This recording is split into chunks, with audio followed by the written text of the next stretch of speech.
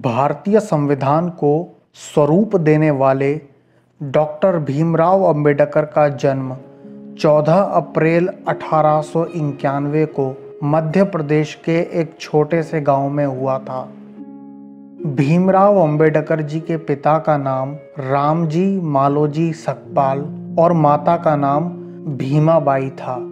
भीमराव अंबेडकर का जन्म महार जाति में हुआ था जिसे लोग अछूत और बेहद निचला वर्ग मानते थे।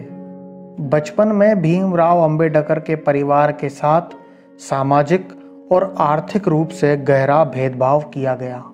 भीमराव अंबेडकर जी के पूर्वज लंबे समय तक ब्रिटिश ईस्ट इंडिया कंपनी की सेना में कार्य करते थे। उनके पिता ब्रिटिश भारतीय सेना की मऊ छावनी में सेवा में थे। एक लंबे समय से इनका परिवार अंग्रेज़ों की सेवा में तत्पर था। अंबेडकर जी ने सन 1919 में पुनर्विवाह किया और परिवार के साथ मुंबई चले गए। भीमराव अंबेडकर एल्फिंस्टोन रोड पर स्थित गवर्नमेंट हाई स्कूल के पहले अछूत छात्र बने। पढ़ाई में अपने उत्कृष्ट प्रदर्शन के बाद भी भीमराव अंबेडकर को स्वयं के साथ हो रहे अलगाव और भेदभाव से बहुत दुख होता था। सन 1960 में मैट्रिक परीक्षा पास करने के बाद भीमराव अंबेडकर ने मुंबई विश्वविद्यालय में प्रवेश लिया और इस तरह वह भारतीय महाविद्यालय में प्रवेश लेने वाले पहले दलित बन गए। मैट्रिक परीक्षा पास करना उस समय बहुत बड़ी सफलता मानी जाती थी और एक अछूत का मैट्रिक परीक्षा पास करना उस समय के लिहाज से आश्चर्यजनक था। इसी कारण उनकी इस सफलता से पूरे समाज में खुशी की लहर दौड़ गई। मैट्रिक परीक्षा पास होने पर उनका एक सार्वजनिक समारोह में सम्मान किया गया। इसी समारोह में उनके एक शिक्षक कृष्णा जी अर्जुन कैसुलकर ने उन्हें अपनी लिखी हुई पुस्तक गौतम बुद्ध की जीवनी भेंट की। गौतम बुद्ध की जीवनी पढ़ने के बाद से भीमराव अंबेडकर का झुकाव बौद्ध धर्म की शिक्षा की ओर होने लगा। 31 जनवरी 1920 को अंबेडकर जी ने एक साप्ताहिक अखबार मूक नायक शुरू किया। 1924 में बाबा साहेब ने दलितों को समाज में अन्य वर्गों के बराबर स्थान दिलाने के लिए बहिष्कृत हितकारिणी सभा की स्थापना की। 1932 को गांधी जी और अंबेडकर जी के बीच एक संधि हुई, जो पूना संधि के नाम से जानी जाती है।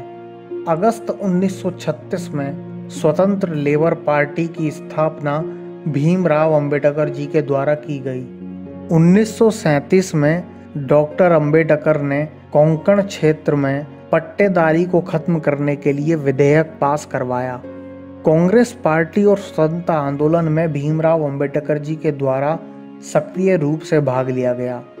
उनके नेतृत्व और उनके ज्ञान को देखते हुए जब संविधान सभा का गठन हुआ, तब भीमराव अंबेडकर जी को संविधान सभा की प्रारूप समिति का अध्यक्ष बनाया गया एवं डॉक्टर राजेंद्र प्रसाद संविधान सभा के अध्यक्ष चुने गए।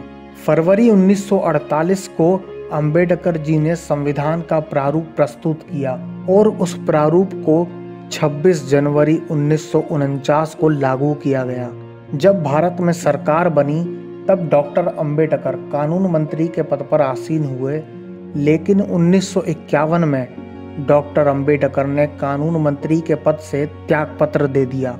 डॉक्टर भीमराव अंबेडकर जी ने अपने जीवन काल में अपने दर्शन शास्त्र एवं अनुभव से लोगों को अवगत कराने हेतु कई पुस्तकें लिखी, जो आज भी भारतीय समाज और हम सभी भारतीयों का मार्गदर्शन कर रही है। इन किताबों में से प्रमुख किताबें हैं the problem of rupee federation versus freedom thoughts on Pakistan who were the Shudras Bhimrao Ambedkar ji की लिखी गई यह पुस्तकें आज भी पुस्तकालयों में एवं डिजिटल प्लेटफॉर्म पर मौजूद है। यदि आप चाहें तो उनकी वह पुस्तकें आज भी पढ़ सकते हैं और उनके दर्शन शास्त्र से अवगत हो सकते हैं। आप में से कई दर्शक ऐसे होंगे जो अपने विचार लोगों के साथ साझा करना चाहते हैं एवं अपनी किसी भी प्रकार की पुस्तकें प्रकाशित करना चाहते हैं तो डिस्क्रिप्शन में दी गई लिंक पर क्लिक कीजिए और गूगल फॉर्म भरिए। फॉर्म सबमिट होने के बाद पुस्तक प्रकाशक की ओर से आपको संपर्क किया जाएगा और प्रकाशन की सारी जानकारी दी जाएगी। आपकी पुस्तक को दुनिया के सबसे बड़े प्लेटफॉर्म, गूगल प्ले स्टोर और गूगल प्ले बुक्स पर प्रकाशित किया जाएगा। यदि आप अपनी कविता, कहानी, उपन्यास, लेख या अन्य किसी विधा की पुस्तक प्रकाशित करने के इच्छुक हैं या प्रकाशन से संबंधित जानकारी चाहते हैं तो डिस्क्रिप्शन में दी गई लिंक पर क्लिक करके गूगल फॉर्म ज़रूर भरें। डॉक्टर भीमराव अंबेडकर जी ने छुआछूत अशिक्षा, अंधविश्वास के साथ साथ सामाजिक, राजनीतिक एवं आर्थिक विषमता को सबसे बड़ी बुराई के रूप में प्रस्तुत किया। डॉक्टर अंबेडकर जी ने वर्ण व्यवस्था और सामाजिक भेदभाव के खिलाफ भारतीय समाज में संघर्ष करते हुए निराश होकर अपना धर्म छोड़ दिया और 1956 में लाखों समर्थकों के साथ बौद्ध धर्म स्वीकार किया। इसी वर्ष 6 दिसंबर 1956 को तिरसठ साल की उम्र में भारत के संविधान को उसका प्रारूप देने वाले डॉक्टर भीमराव अंबेडकर जी का निधन हो गया।